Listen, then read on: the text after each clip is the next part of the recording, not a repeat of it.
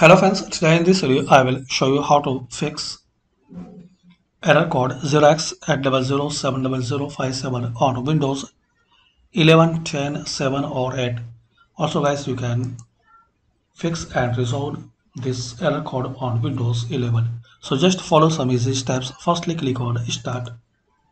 Now here type file explorer. Open file explorer now right click on your C drive. Then click on properties.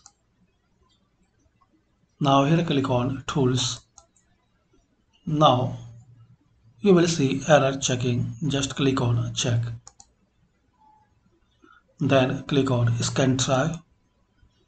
Now guys wait couple of minutes. It will take couple of minutes. So complete this scanning. So once this scanning will complete, you have to restart your PC or laptop. And after restart, you have to copy. And after restart click on this search icon then type cmd right click on command prompt. Run as administrator. Now here type this command line sfc space slash scan now. Then press enter. And guys this scanning will take a couple of minutes. So complete this scanning. And once this scanning will complete again you have to restart.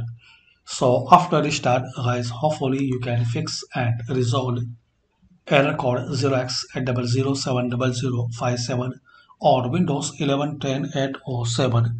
Thanks for watching guys. Please comment on this video work for you or not.